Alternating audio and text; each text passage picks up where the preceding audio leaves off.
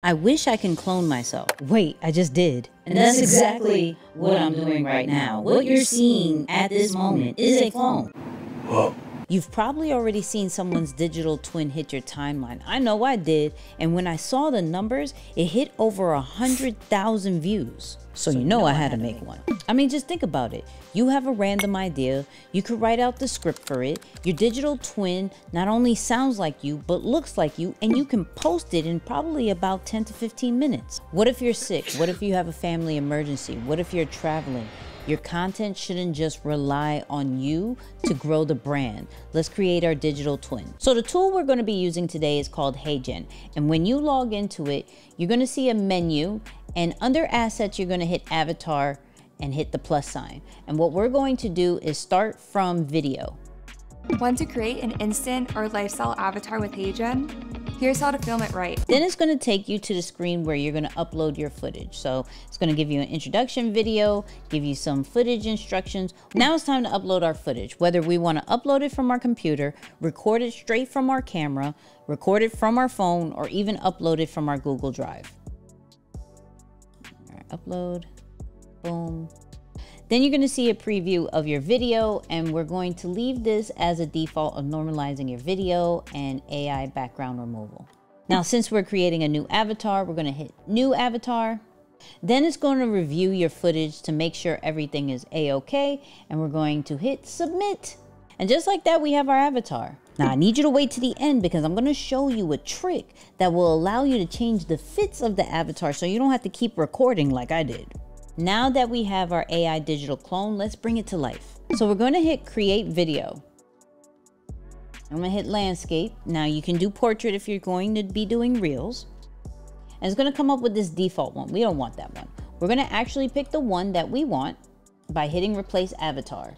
And now we have to make it talk. So we can either write a script here and use our voice that we had uploaded with the video Pro tip, if you have ElevenLabs and you cloned your voice, you can actually connect it with your HeyGen and pick that voice. Or we can hit audio and record brand new audio or upload audio that we have already on our computer or our phone. So I'm gonna upload the audio that I did earlier.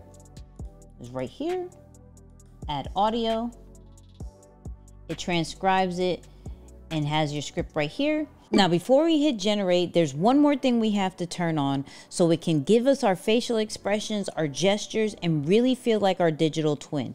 And that's AI Avatar 4. It's going to move realistically like us, face, body, background, everything. And once we hit on, now we can hit generate.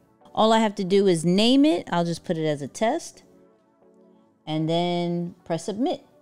And now we wait. I wish I can clone myself. And that's exactly what I'm doing right now. What you're seeing at this moment is a clone. I don't think that's pretty bad, but 1 to 10, what do you think about that? The great part about HeyGen is that you could create different looks for your avatar. So honestly, I've created uh, me outside, me sitting down, me in the hammock, me looking like I'm speaking straight to the phone, me walking. Uh, but let's say I wanted to change the fit. This is where it gets really crazy because they actually use Google Nano Banana to change whatever you want in this video. So let's say I wanted to change from this hoodie to, let's say just a regular blue hoodie. So underneath the avatars, I'm gonna see this like AI uh, section where it says describe the edits you would like to make.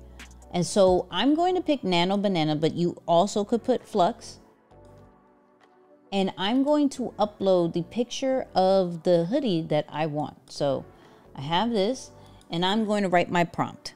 So the prompt that I use is replace the tie-dye hoodie with the reference image I uploaded, the marathon blue hoodie. And you can see how it looks. Yo, look at that. It changed the hoodie from a tie-dye to a blue hoodie. Meaning once you have an avatar, you can change the fits as many times as you want with AI. Pro tip, even though it can change your outfit, I do recommend doing some different looks. Like I have one that I'm sitting down, I have one that I'm standing up, I have one that I'm outside, I got one on the hammock, I got one looking like I'm talking straight to the phone, one sounding like I'm using the lapel mic, And so you want to do different things so you have a variety of ways to create content. Now, could this replace me in videos like this? It could. Am I going to at this moment? No. But let me give you a realistic way of how to use it. So let's say I messed up on a new YouTube video and I'm nowhere near my regular setup. And because HeyGen only needs two minutes of footage to make my avatar, whatever I messed up, I can replace that with my AI avatar. So majority of my video can be me, but there may be parts of it that is the AI avatar because I couldn't re-record it. Now for social media content, let's say there's an update inside of your niche that you normally cover. You can use your avatar if you're not in the space to record, you can use your avatar to report on the new update. Or maybe you wanted to create content for your community and send out a message to them. You could do that inside of your community. This is going to allow me to explain things to y'all much quicker while I'm traveling. I'm in the airport right now, but you wouldn't know.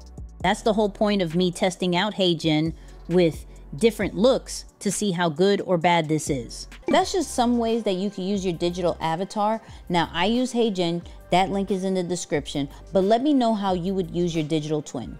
And if you want to know more about AI influencers, digital twins, and how to use them, I got another video for you.